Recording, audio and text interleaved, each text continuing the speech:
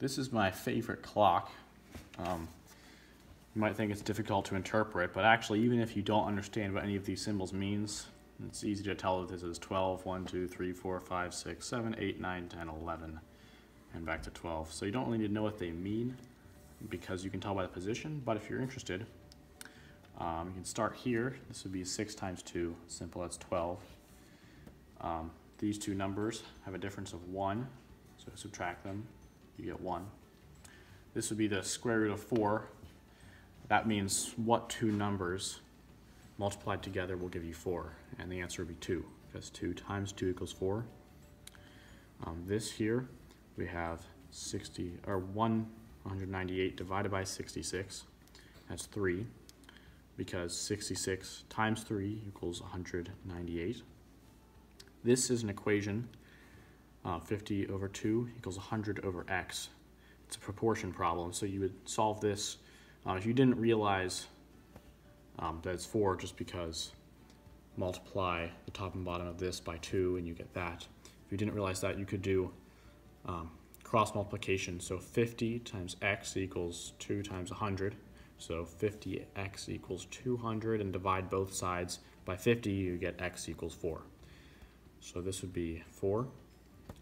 Um, this one, similar to up here, just be 5 times 126 will give you 630.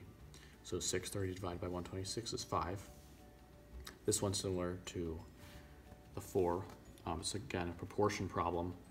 Um, although this one actually is 66 divided by 1. It seems kind of redundant because anytime you're dividing by 1 it doesn't do anything. Anyway, you would technically do a proportion, um, a cross product to solve that.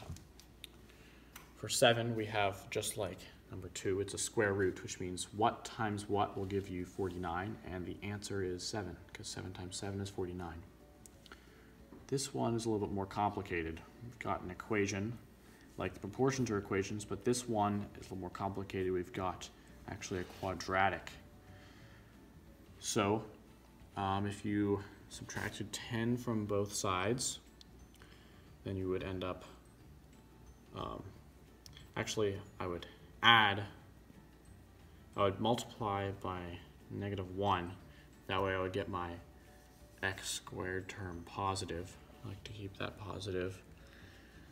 Then I would have negative 66 plus x squared minus x equals negative 10. You could add 10 to both sides.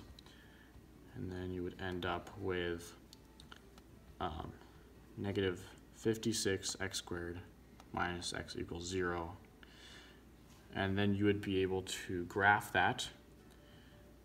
Um, and the solution to that would be um, that would be 8. Or you could actually factor it, and factoring it would be able to give you the same answer. This is a form of the um, Pythagorean theorem having to do with right triangles you normally see it in the form of a squared plus b squared equals c squared. This would be rearranged a little bit. Um, it would be applied on the Pythagorean triple being 12 as one of the legs, 15 as the hypotenuse. So this would give you the answer of 9 because 9, 12, and 15 um, are the side lengths of a Pythagorean triple for a right triangle. This is another equation. It's a lot simpler you would just have to add x over to the one side and then add 8 to the other and you get 10. Another division problem just like down here. Um, 111 times 11 is 1,221. And back to the top, again it's simple, just a 6 times 2 for a 12.